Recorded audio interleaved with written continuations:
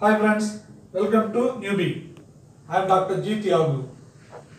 Triple டிபார்ட்மெண்ட்டுக்கும் E C டிபார்ட்மெண்ட்டுக்கும் காமனாக இருக்கிற one of the major core subject வந்து electromagnetic theory or electromagnetic field இந்த electromagnetic theory or electromagnetic field சப்ஜெக்டை தமிழில் இன்டெப்த்தாக வித் எக்ஸாம்பிளோட நான் இந்த வீடியோவில் உங்களுக்கு ப்ரெசென்ட் பண்ணுறேன் இப்போ நம்ம சப்ஜெக்டோட கான்செப்டுக்கு மூவ் பண்ணுறோம் எலக்ட்ரோமேட்டிக் தியரினா என்ன எலக்ட்ரோமேட்டிக் ஃபீல்டுனா என்ன ஸோ ஒரு சப்ஜெக்ட் ஸ்டார்ட் பண்ணுறதுக்கு முன்னாடி நமக்கு மூணு கொஸ்டின் ரைஸ் ஆகணும். ஃபர்ஸ்ட் கொஸ்டின் சப்ஜெக்ட்னா என்ன?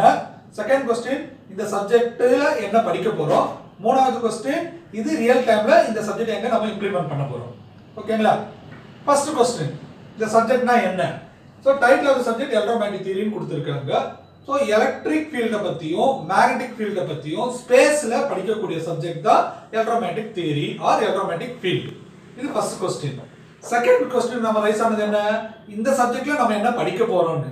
இந்த சப்ஜெக்ட்ல நம்ம என்ன படிக்க போறோம்? ஸ்டாட்டிக் எலக்ட்ரிக் ஃபீல்டை பற்றியும் ஸ்டாட்டிக் மேக்னெட்டிக் ஃபீல்டை பற்றியும் டைனமிக்கா எலக்ட்ரிக் ஃபீல்டும் மேக்னெட்டிக் ஃபீல்டோடைய பிஹேவியரை பற்றியும் ஒரு வேவாக எப்படி ஜென்ரேட் பண்ணுறோன்றத பற்றியும் படிக்கக்கூடிய சப்ஜெக்ட் தான் electromagnetic theory or electromagnetic field இது செகண்ட் கொஸ்டின் மூணாவது கொஸ்டின் இந்த சப்ஜெக்டை ரியல் டைமில் நம்ம எங்கே யூஸ் பண்ண போகிறோம் எங்கே இம்ப்ளிமெண்ட் பண்ண போகிறோம் அது ரொம்ப ரொம்ப இம்பார்ட்டன்ட் எந்த ஒரு சப்ஜெக்ட்டுக்கும் ஸோ இப்போ நமக்கு கம்யூனிகேஷன் சர்க்கியூட்டை ஒரு மேஜர் எக்ஸாம்பிளாக இதை எடுத்துக்கலாம். அதாவது ஒரு சிக்னலை ஒரு இடத்துல ஒரு இடத்துக்கு வயர்லெஸ் மூலமாக நம்ம டிரான்ஸ்மிட் பண்ணுறதுக்கு இந்த electromagnetic theory or electromagnetic field subject வந்து ஒரு பேஸ் சப்ஜெக்டாக அமைஞ்சிருக்கு. ஓகேங்களா ஓகே இந்த மூணு கொஸ்டினை பற்றியும் டிஸ்கஸ் பண்ணியாச்சு. இப்போ நம்ம சப்ஜெக்டில் இருக்கிற கான்செப்ட்டுக்கு தான் நம்ம டிஸ்கஸ் பண்ண ஸ்டார்ட் பண்ண போகிறோம் so electromagnetic theory or electromagnetic field first நம்ம என்ன சொன்னோம்? ஒரு எலக்ட்ரிக் ஃபீல்டோ மேக்னெட்டிக் ஃபீல்டோ ஸ்பேஸ்ல என்ன பண்ணுது? அதை பத்தி படிக்க போற சப்ஜெக்டா எலக்ட்ரோமேட்டிக் தியரி நம்ம டிஸ்கஸ் பண்ணிட்டோம். இப்போ இதை ஒரு எக்ஸாம்பிள் மூலமா இந்த சப்ஜெக்டை நம்ம ஸ்டார்ட் பண்றோம். ஃபார் எக்ஸாம்பிள் நீங்க வீட்டில் ஒரு சிஆர்டி டிவியை வாட்ச் பண்ணிட்டு இருக்கீங்க. அந்த மொமெண்ட்ல யாராவது சோக்குள்ள ஒரு டியூப் லைட்டை ஆன் பண்றாங்க. அப்போ நம்ம என்ன அந்த ரூம்ல அப்சர்வ் பண்ணுவோம்? டியூப் லைட் ஆன் ஆனதால ஒரு வெளிச்சத்தை அப்சர்வ் பண்ணுவோம். அதே டைம்ல டியூப் லைட் ஆன் ஆகிற டைம்ல நம்ம டிவியில் சம் டாட்ஸ் அப்சர்வ் பண்ணுவோம். இந்த எக்ஸாம்பிள மைண்ட்ல ஃபிக்ஸ் பண்ணுங்க. ரெண்டாவது இன்னொரு எக்ஸாம்பிள் நம்ம கோரிலேட் பண்ண போறோம். ஃபார் எக்ஸாம்பிள் நீங்க சிஆர்டி பேஸ் உள்ள ஒரு டெஸ்க்டாப் கம்ப்யூட்டர்ல ஒர்க் பண்ணிட்டு இருக்கீங்க. உங்க பாக்கெட்லயோ ஆர் உங்க டேபிள் மேலேயோ ஒரு மொபைல் நீங்க வச்சிருக்கீங்க. அந்த மொபைல்ல ஒரு இன்கமிங் கால் வர டைம்ல நீங்க உங்க சிஆர்டி ஸ்கிரீன்ல என்ன அப்சர்வ் பண்ணுவோம்?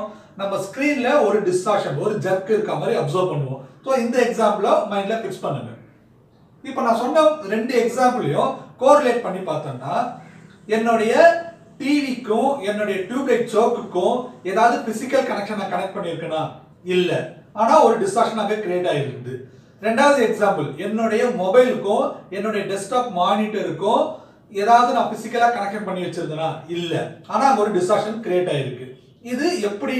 அதுதான் நமக்கு இப்போ ஒரு கொஸ்டின் மார்க் அதாவது சோக்கில் ப்ரொடியூஸ் ஆகிற எலக்ட்ரிக் ஃபீல்டும் மேக்னட்டிக் ஃபீல்டும் என்னுடைய டிவி சர்க்கியூட்டில் இன்டர்ஃபியர் ஆகி அதாவது குறுக்கிட்டு எனக்கு டிவி சர்க்கியூட் கொடுக்கக்கூடிய ஒரிஜினல் சிக்னலை டிஸ்டர்ப் பண்ணிட்டு ஒரு இன்டர்ஃபரன்ஸை கிரியேட் பண்ணிடுச்சு.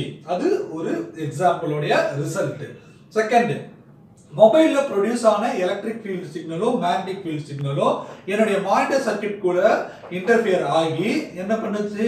அங்கே என்னோட ஒரிஜினல் சிக்னலை அஃபெக்ட் பண்ணிடுச்சு. ஓகே இது செகண்ட் சிக்னல் செகண்ட் எக்ஸாம்பிளுடைய ரிசல்ட் இப்போ நம்ம கோரிலேட் பண்ணி பார்த்தோம்னா இந்த ஃபர்ஸ்ட் எக்ஸாம்பிளும் செகண்ட் எக்ஸாம்பிளுக்கும் பிசிக்கல் கனெக்ஷன் எதுவுமே இல்லை. ஆனால் electric field magnetic field produce ஆன ப்ரொடியூஸ் பண்ண சோக்கு என்னுடைய டிவி சர்க்கியூட் கூட எப்படி நமக்கு இன்டர்ஃபியர் ஆச்சுன்னா ஸ்பேஸை ஒரு பாத்தா எடுத்துக்கிச்சு. டியூப்லைட் மேலே இருக்கு டிவி கீழே இருக்கு இன்பிட்வீன் இடைப்பட்ட இடத்துல ஒரு ஸ்பேஸ் இருக்கு. அந்த ஸ்பேஸ்ல எலக்ட்ரிக் ஃபீல்டும் மேக்னெட்டிக் ஃபீல்டும் ஒரு பாதையை தேர்ந்தெடுத்து என்னுடைய சர்க்கியூட்டு கூட இன்டர்ஃபியர் ஆயிடுச்சு. ஸோ அதுதான் மேஜர் கான்செப்ட் இந்த சப்ஜெக்ட்ல effect of electric field and magnetic field in space அதை பத்தி தான் இந்த சப்ஜெக்ட்ல இன்டெப்தா படிக்க போறோம். ஓகேங்களா ஸோ இந்த எக்ஸாம்பிள் மூலமா நீங்க ரியல் டைம்ல நீங்க எங்கெங்கெல்லாம் இந்த மாதிரி இன்டர்ஃபரன்ஸ் ஜென்ரேட் ஆனதை கொஞ்சம் இமேஜின் பண்ணி பார்த்தீங்கன்னா டே டு டே லைஃப்ல எல்லா இடத்துலயுமே இந்த ப்ராப்ளத்தை நம்ம ஃபேஸ் பண்ணுவோம்.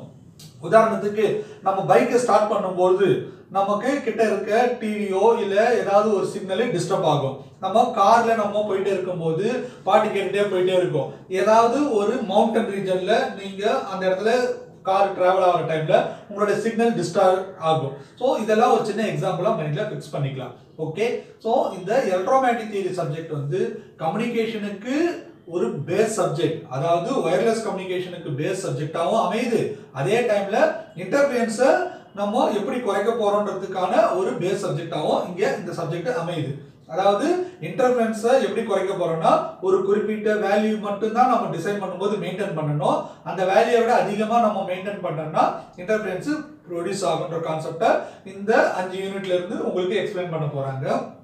அதே மாதிரி கம்யூனிகேஷனுக்கு என்னென்ன சிக்னலை ஜென்ரேட் பண்ணுறதுக்கு என்னென்ன பேராமீட்டர்ஸ் நமக்கு வேணுன்றது இந்த எலக்ட்ரோமேட்டிக் தியரி எலக்ட்ரோமேட்டிக் சப்ஜெக்ட் வந்து உங்களுக்கு ஹெல்ப்ஃபுல்லாக இருக்க போகுது. ஓகே புரியுதுங்களா?